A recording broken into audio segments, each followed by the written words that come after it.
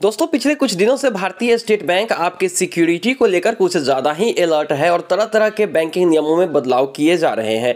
और एक बार फिर से एक बड़ी खबर आ चुकी है योनो एस एप्लीकेशन को लेकर एसबीआई की तरफ़ से। और यहाँ पर ये जो खबर है ना दोस्तों, वो बड़ी भी है और बुरी भी हो सकती है कुछ यूज़र्स के लिए।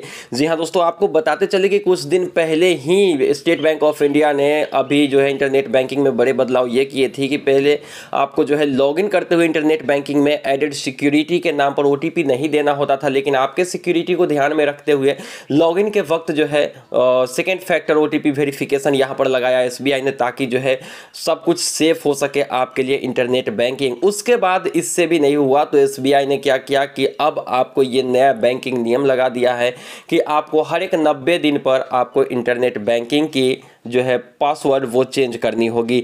तो ये हो गई दूसरी चेंजेस तीसरी चेंजेस ये हो गई कि अब तक आप अपने मोबाइल नंबर को चेंज करने के लिए या तो ऑनलाइन कर लीजिए नेट बैंकिंग के ज़रिए ओटीपी मेथड से, या फिर ऑफलाइन जाके आप एटीएम में कर लीजिए। मतलब दोनों ही चीज़ों को यहाँ पर जो है हटा दिया गया है अब, और यहाँ पर आपको पहले नेट बैंकिंग से इराटा कोड जनरेट करना होगा, फिर एटीएम में जाना होगा। मतलब दोनों प्रोसेस को एक साथ ऐड किया गया है। नहीं तो आप ब्रांच जाके ये काम कर सकते हैं। और एक बार फिर से आपके सिक्योरिटी को लेकर ही यहाँ पर एसबीआई ने एक बड़ा कदम उठाया है योनो एस में और यहाँ पर जो है इस चेंजेस से मुझे लग रहा है कि अब तक जो है सबसे ज़्यादा अनसिक्योर बैंक एसबीआई ही था। क्योंकि सिक्योरिटी अब दुरुस्त की जा रही है, इससे पहले जो है सिक्योरिटी इतनी ज़बरदस्त नहीं थी। खैर, यहाँ पर जो है जो है टेक्नोलॉजी की दुनिया में लगातार चेंजेज होते हैं और पुरानी चीज़ें जो है वो थोड़ा सा वलनेबल हो जाती है समय के साथ साथ इसलिए इसमें चेंजेस भी ज़रूरी है।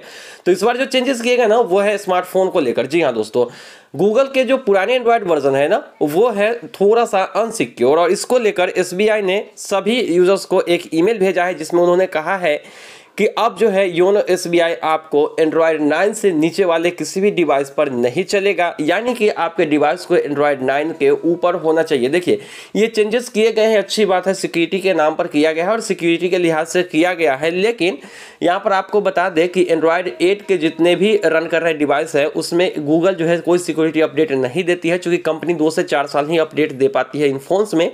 तो ऐसे में एंड्रॉयड 12 भी चल रहा है और एंड्रॉयड आठ पर अगर आपका डिवाइस है तो आप जो है, योनो एस एप्लीकेशन यूज़ नहीं करेंगे। और यहाँ पर आपको इंटरनेट कनेक्टिविटी की इरर देखने को मिलेगी। और अगर आप एंड्रॉयड एट पे हैं तो आप इस तरह के मैसेजेस का जो है आदत डाल लीजिए क्योंकि अगर आपका डिवाइस एंड्रॉयड आठ पर है तो इसी तरह के मैसेजेस आपको देखने को मिलेगी। और इस तरह के मैसेज अगर आप नहीं चाहते हैं तो अपने डिवाइस को अपग्रेड करिए। Android nine ten eleven twelve किसी में भी आपका फ़ोन है तो चलेगा। लेकिन मैं तो कहूँगा कि आप जो है अभी अगर नया फ़ोन लेना चाहते हैं तो मत लीजिए। हो सकता है कस्टम रोम डाल के आप कर सकते हैं चीज़ें, लेकिन वो भी अनसिक्योर होती है। तो इसीलिए बेहतर होगा कि आप एंड्रॉयड नाइन पे या फिर एंड्रॉयड इलेवन ट्वेल्व वाले डिवाइस पर शिफ्ट कर जाइए, तभी आप योनो एस एप्लीकेशन यूज़ कर पाइएगा। नहीं तो आप जो है आने वाले कुछ ही दिनों में योनो एस एप्लीकेशन यूज़ नहीं कर पाएँगे। सिक्योरिटी के लिए आपको ये सब किया गया है तो उम्मीद है कि आप लोग अपने डिवाइस को अपग्रेड करेंगे। और आपका डिवाइस कौन से एंड्रॉयड वर्जन पर रन कर रहा है कमेंट सेक्शन में बताना मत भूलिएगा। ये थी योनो एस को लेकर एक बड़ी अपडेट एस की तरफ़ से। उम्मीद है कि आपको ये मैसेज भी मिल चुके होंगे, अगर आप एस के ईमेल सब्सक्रिप्शन ले रखे हैं तो। तो आज के वीडियो इतना ही। वीडियो अच्छा लगा तो लाइक करिए, चैनल को सब्सक्राइब करके नोटिफिकेशन बेल को हिट करना मत भूलिएगा। मिलते हैं किसी नई वीडियो में। दीजिए इजाज़त। Thank you